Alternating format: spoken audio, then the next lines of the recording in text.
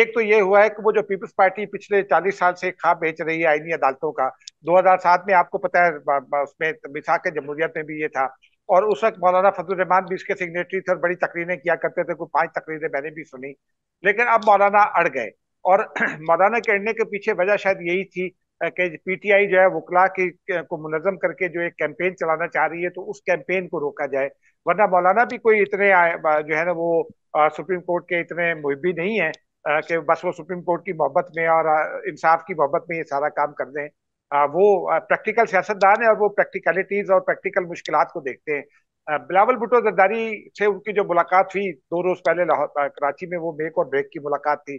उसमें बिलावल पीछे हटे और फिर उन्होंने एक तबसा भी किया बिलावल ने कि मैं मैं इस बात पर भी तैयार हूँ कि अगर एक एक इंच भी स्पेस हमें मिलती है पार्लिमान को और सियासतदानों को तो हमें लेनी चाहिए।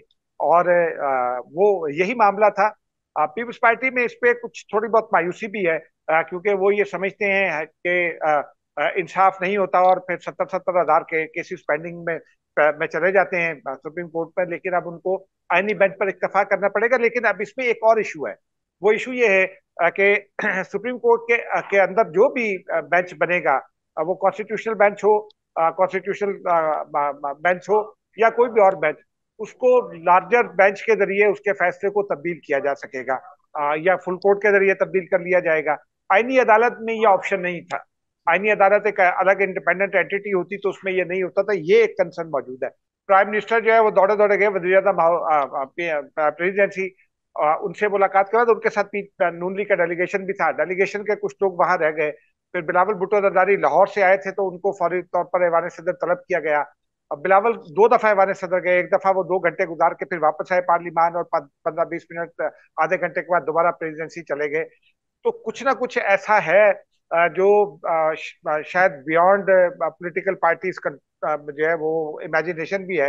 वो या मौलाना फजल रहमान किसी ऐसी बात पर अड़े हुए हैं। मेरी राय में एक आध मामला ऐसा है जो फौजी अदालतों के हवाले से है, क्योंकि नून लीग के कुछ लोग ये बताते हैं कि नवाज़ शरीफ साहब ने ये हिदायत की है कि अगर फौजी तनसीबात पर हमले होते हैं और उनमें कोई सिविलियन मुलवस है तो एविडेंस की बुनियाद पर उसका मुकदमा चलना चाहिए फौजी अदालत में। आ, शायद ये मामला हो मुझे अभी इसके हवाले से कोई हतमी बात सामने नहीं आई लेकिन इसी मामले पर बात चल रही है। अलबत् ये ये एक खबर है हमारे लिए कि कल शायद सेनेट में जो कौमी असम्बली का ये जो आईनी तरामीम का मुसवदा है ये बिल की सूरत में सेनेट में पेश हो जाए और उसके बाद फिर उससे पहले काबीना से मंजूर हो जाए और फिर कौमी असम्बली में आए। एक सियासतदान से मेरी बात हुई, जो एक हुकूमती तादी हैं उनसे मैंने पूछा तो उन्होंने कहा कि अभी तो बहुत सारे मसाइल भी हैं, लेकिन हमने बहुत सारी चीज़ों पर एग्री कर लिया, तहा मसल मुसवदा हमें तब पता चलेगा जब वो कौमी असम्बली या सेनेट में आएगा। जी अच्छा बिल्कुल ठीक है। मैं आता हूँ जाज भाई, आपकी तरफ़। सभी आज ये भी हुआ कि पाकिस्तान तहरीक इंसाफ ने अपनी जो पिटिशंस दायर की थी ये आईनी अमेंडमेंट को ना करवाने के खिलाफ तो वो वापस ले ली उन्होंने। थोड़ा सा उसका बताएँ और फिर आपसे मैं और भी पूछता हूँ। जी। बहुत शुक्रिया रजा साहब। बिल्कुल आज पाकिस्तान तहरीक इंसाफ ने तो नहीं, लेकिन आबिद शाहिद जुबैरी है, ये सबक सदर है supreme court bar association of Pakistan के और इनको पाकिस्तान तहरीक इंसाफ की हिमायत हासिल है, हामिद खान ग्रुप की हिमायत हासिल है। ये इनके समेत पाँच अरकान थे पाकिस्तान बार काउंसिल के, उन्होंने दरख्वास्त दायर की थी और सुप्रीम कोर्ट से कहा था इस्तः की थी कि ये जो प्रपोजल है, इसको टेबल ना करने दिया जाए, इस आईनी तरमीम को ना होने दिया जाए पार्लियामेंट को रोका जाए। तो आज इस पे समाप्त हुई है। ना सिर्फ़ इस पे इस पे रजिस्ट्रार ऑफ़िस ने भी ऑब्जेक्शन लगा दिए थे और उसके खिलाफ अपील फिर दायर की थी आबिद जुबैरी ने। तो उस अपील पर भी आज समाप्त हुई ऑब्जेक्शन के खिलाफ। तो हामिद खान जो है वो पेश हुए अदालत में और उन्होंने कहा कि मैं, हम ये अपनी दरख्वास्त वापस लेना चाहते हैं। मुख्तसर सी समात थी।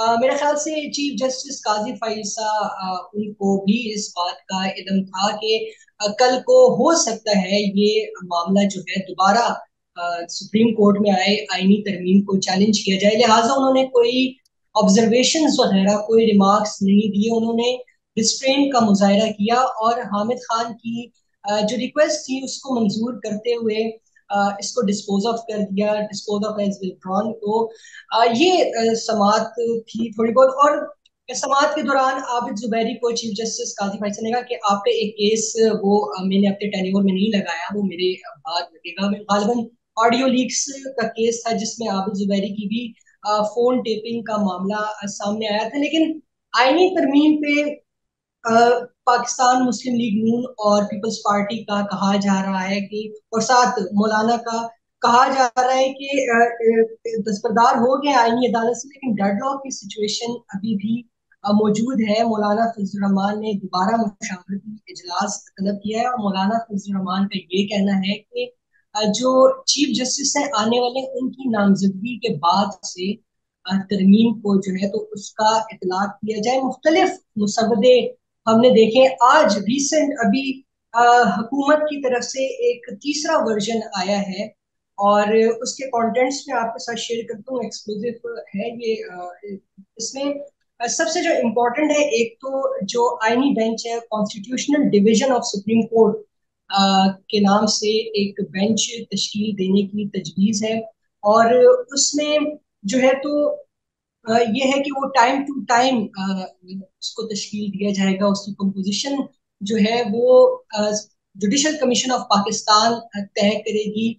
और ये टाइम टू टाइम होगा, यानी कि ये स्पेसिफिक नहीं है कि ये एक बन गया और फिर ये चलता रहा, ये टाइम टू टाइम होगा। जुडिशल कमीशन ऑफ़ पाकिस्तान जो है वो इस आईनी बेंच को उसकी तश्कील करेगी। अब यहाँ पे यह भी सवाल है कि अटर्नी जनरल भी जुडिशल कमीशन ऑफ़ पाकिस्तान के मेंबर हैं लॉ मिनिस्टर भी मेंबर हैं, इसके अलावा नेशनल असम्बली सेनेट से भी मेंबर्स हैं जुडिशल कमीशन ऑफ़ पाकिस्तान में। तो फिर इनका बेंच की फिक्सेशन या बेंच की तश्कील के साथ क्या ताल्लुक है? ये तो सीधी तरह सीधी सीधी बात है कि प्रैक्टिस एंड प्रोसीजर एक्ट को रिडेंडेंट कर दिया गया है। तो अगर तो इस तजवीज़ के तहत होती है तरमीम तो फिर इसमें कॉन्स्टिट्यूशनल डिवीज़न में तमाम सूबों की जो नुमाइंदगी है, उस बेंच में होगी और वो बेंच 184.3 के केसेस सुनेगा, यानी कि जो ओरिजिनल जुरिस्डिक्शन है सो मोटो भी कहा जाता है। इसके अलावा हाई कोर्ट में जो आर्टिकल 199 के तहत चलने वाले केसेस हैं, उसमें जिसमें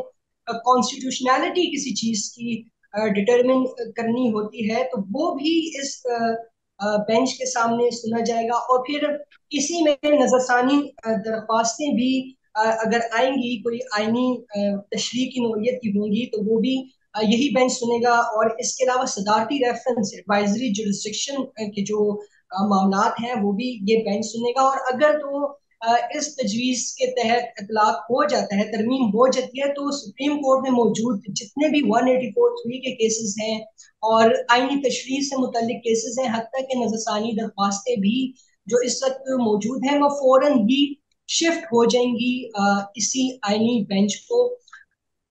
चीफ जस्टिस की जहाँ तक बात है अपॉइंटमेंट का तो तीन साल का टेन्योर किया गया है, सिक्सटी फाइव ईयर्स एज तो रिटायरमेंट है, लेकिन तीन साल का टेन्योर किया गया है और तीन जजेस का जो पैनल है, उसमें से डिसाइड होगा, यानी कि अब चीफ जस्टिस काजी फैसला के बाद जो सीनियर मोस्ट तीन जजेस हैं, यानी कि जस्टिस मंसूर अली शाह जस्टिस मुनीब अख्तर और जस्टिस याया आफरीदी जस्टिस याया आफरीदी इस वक्त हुकूमत को सूट करते हैं। तो तीन जजेस में से जो है वो स्पेशल पार्लियामेंट्री कमेटी जो है वो इस तीन जजेस में से एक जज का नाम फाइनल करेगी। इस स्पेशल पार्लियामेंट्री कमेटी में आठ मेंबर्स जो हैं वो नेशनल असेंबली से होंगे चार मेंबर्स सेनेट से होंगे और जो पार्लियामेंट्री पार्टी की जो स्ट्रेंथ है उसके तनासब से यानी प्रोपोर्शनैलिटी की बेस पे आ, आ, उनको नुमाइंदगी दी जाएगी।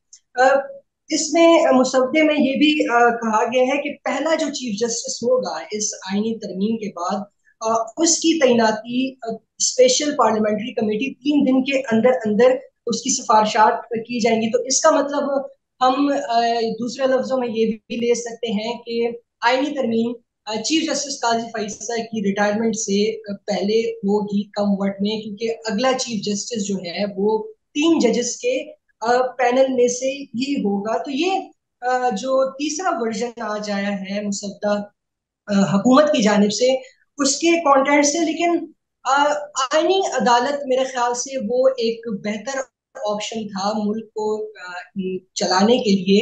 अगर तो ये कॉन्स्टिट्यूशनल डिवीज़न बनेगा तो ये टाइम टू टाइम है फिर इसमें दोबारा से आ, ये भी नहीं अभी बताया गया कि कौन कौन से कब से कब तक तो आ, जो है तो ये आईनी बेंच करेगा काम और फिर दोबारा से इसकी तश्कील कब होगी? ये सारे मामला जुडिशल कमीशन ऑफ़ पाकिस्तान ने देखने हैं बट अल्टीमेटली मामला वही आ जाएँगे और जब तक इस मामले का कोई सियासी हल नहीं होता, मेरे ख्याल से divisional constitutional division bench constitutional division of supreme court से ये मामला खत्म होने वाले नहीं